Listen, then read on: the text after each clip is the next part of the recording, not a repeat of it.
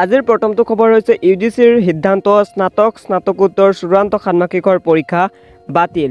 পূৰ্ব পৰীক্ষাৰ আভ্যন্তৰীণ মূল্যায়নৰ ভিত্তিত ঘোষণা হ'ব ফলাফল অক্টোবৰৰ পৰা আৰম্ভ হ'ব নতুন শৈক্ষিক বৰ্ষ। দেশৰ বিশ্ববিদ্যালয় আৰু মহাবিদ্যালয়ত অধ্যয়নৰত চূড়ান্ত ষাণ্মাসিকৰ লাখ লাখ শিক্ষাৰ্থীৰ বাবে যেন এক ডাঙৰ সকাহ অহা জুলাই মাহত অনুষ্ঠিত হ'বলগীয়া উচ্চ শিক্ষাৰ চূড়ান্ত ষাণ্মাসিকৰ পৰীক্ষা অনুষ্ঠিত নহয়। বিদ্যালয় অনুদান আয়োগে এই সিদ্ধান্ত গ্ৰহণ কৰিছে। চূড়ান্ত ষাণ্মাসিকৰ পৰীক্ষাৰ সলনি আগৰ পৰীক্ষাৰ নম্বৰ আৰু আভ্যন্তৰীণ মূল্যায়নৰ ভিত্তিত সেইসকল শিক্ষাৰ্থীৰ ফলাফল ঘোষণা কৰা হ'ব। বিশ্ববিদ্যালয় অনুদান আয়োগে উক্ত পৰীক্ষা অনুষ্ঠিত কৰা নকৰা সন্দৰ্ভত গোটেই বিষয়টো পৰীক্ষা কৰি চাবলৈ হাৰিয়ানা মহাবিদ্যালয়ৰ উপাচাৰ্য আৰু চি কুহৰৰ নেতৃত্বত এখন কমিটি গঠন কৰি দিছিল। সেই কমিটিয়ে সকলো দিশ চাৰি জাৰি চাই সাম্প্ৰতিক পৰিস্থিতিত চূড়ান্ত ষাণ্মাসিকৰ পৰীক্ষা অনুষ্ঠিত কৰা সম্ভৱ নহয় বুলি মন্তব্য কৰে।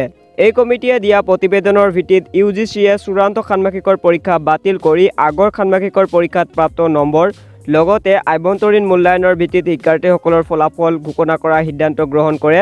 ইয়াৰ ফলত দেশৰ চল্লিছখন কেন্দ্ৰীয় বিশ্ববিদ্যালয় কেইবাশ ৰাজ্যিক বিশ্ববিদ্যালয় ব্যক্তিগত খণ্ডৰ বিশ্ববিদ্যালয় ডিমড বিশ্ববিদ্যালয়ৰ লগতে হেজাৰ হেজাৰ মহাবিদ্যালয়ত অধ্যয়নৰত চূড়ান্ত ষাণ্মাসিকৰ ছাত্ৰ ছাত্ৰীসকলে পৰীক্ষাক লৈ থকা দুমোজাৰ অন্ত পৰিল। বিশ্ববিদ্যালয় অনুদান আয়োগে দুহেজাৰ বিছ চনৰ নতুন নামভৰ্তিকে ধৰি বাতিল কৰা পৰীক্ষা সন্দৰ্ভত অহা সপ্তাহৰ ভিতৰত সবিস্তাৰে যাৱতীয় পথ নিৰ্দেশনা প্ৰকাশ কৰাৰ কথা। স্মতব্য যে কৰোণা ভাইৰাছৰ সংক্ৰমণে মহামাৰীৰ ৰূপ ধাৰণা কৰাত চূড়ান্ত ষাণ্মাসিকৰ পৰীক্ষা অনুষ্ঠিত কৰাক লৈ অনেক প্ৰশ্নৰ উদয় হৈছিল। লাখ লাখ শিক্ষাৰ্থীয়ে সাম্প্ৰতিক পৰিস্থিতিত এই পৰীক্ষাত অৱতীৰ্ণ হোৱা সম্ভৱ নহয় বুলি প্ৰতিক্ৰিয়া ব্যক্ত কৰিছিল আৰু পৰীক্ষা বাতিলৰ দাবী জনাইছিল। মহাৰাষ্ট্ৰ মধ্যপ্ৰদেশ হাৰিয়ানা আৰু উৰিষ্যাই জুলাই মাহত বছৰেকীয়া পৰীক্ষা অনুষ্ঠিত নকৰাৰ ইতিমধ্যে সিদ্ধান্ত গ্ৰহণ কৰে। সেইদৰে আন কেইবাখনো ৰাজ্যইও বছৰেকীয়া পৰীক্ষাত অনুষ্ঠিত কৰা সম্ভৱ নহয় বুলি মন্তব্য কৰিছে। তেনে অৱস্থাত বিশ্ববিদ্যালয় অনুদান আয়োগে অৱশেষত পৰীক্ষা বাতিলৰ সিদ্ধান্ত লয়। অৱশ্যে কোনো পৰীক্ষাৰ্থীয়ে সাম্প্ৰতিক পৰিস্থিতি স্বাভাৱিক হ'লে উক্ত পৰীক্ষাত অৱতীৰ্ণ হ'ব পাৰিব ইচ্ছা কৰিলে। সেই পৰীক্ষাত উন্নত ফলাফল লাভ কৰিব সক্ষম হ'লে শিক্ষাৰ্থীসকলে সেই অনুসৰি নম্বৰ লাভ কৰিব বুলিও ইউ জি চিৰ ফালৰ পৰা স্পষ্ট কৰি দিয়া হৈছে। ইউ জি চিয়ে এনে সিদ্ধান্ত গ্ৰহণৰ পূৰ্বে আন কৰ্তৃত্বপ্ৰাপ্ত সংস্থা যেনে A I C T E B C আইৰ আদিৰ সৈতেও আলোচনাত মিলিত হয়। ইফালে কেন্দ্ৰীয় মানৱ সম্পদ উন্নয়ন মন্ত্ৰী ৰমেশ পোখৰিয়ালে নিশাংকেও ইউ জি চিক সাম্প্ৰতিক পৰিস্থিতিৰ প্ৰতি লক্ষ্য ৰাখি পৰীক্ষাৰ গোটেই প্ৰক্ৰিয়াটো পুনৰীক্ষণ কৰিবলৈ আহ্বান জনাইছিল। ইউ জি চিয়ে অহা জুলাই মাহৰ পৰা আৰম্ভ হ'ব লগা পুৰণা শিক্ষাৰ্থী আৰু অহা আগষ্টৰ পৰা আৰম্ভ হ'ব লগা নতুন শিক্ষাৰ্থীৰ শৈক্ষিক শ্ৰেণীসমূহ অক্টোবৰলৈ পিছুৱাই দিছে। ইউ জি চিৰ এই নিৰ্দেশনাৰ হেতু বেক পৰীক্ষা দিবলগীয়া চূড়ান্ত ষাণ্মাসিকৰ পৰীক্ষাৰ্থীসকলৰ ক্ষতিগ্ৰস্ত হ'ব বুলি এটা মহলে প্ৰতিক্ৰিয়া ব্যক্ত কৰিছে।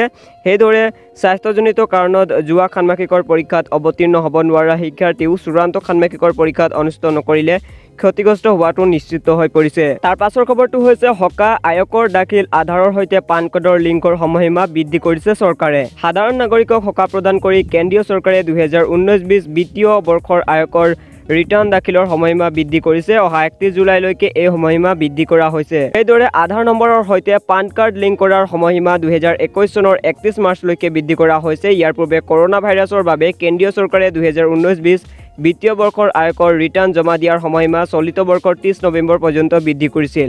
আনহাতে আয়কৰ আইনৰ আওতাত দুহেজাৰ ঊনৈছ বিছ বিত্তীয় বৰ্ষৰ বাবে বিভিন্ন বিনিয়োগ তথা কৰ ৰেহাই লাভৰ বাবে আবেদন কৰাৰ সময়সীমা কেন্দ্ৰীয় প্ৰত্যক্ষ কৰি পৰিষদে আৰু এমাহ বৃদ্ধি কৰি একত্ৰিছ জুলাই কৰিছে। কেন্দ্ৰীয় চৰকাৰে আগবঢ়োৱা পাঁচটা ডেডলাইন হৈছে দুহেজাৰ ওঠৰ ঊনৈছ বিত্তীয় বৰ্ষৰ অৰিজিনেল বা সংশোধিত আয়কৰ ৰিটাৰ্ণ ফাইল দাখিল কৰাৰ সময়সীমা অহা একত্ৰিছ জুলাইলৈ বৃদ্ধি কৰা হৈছে।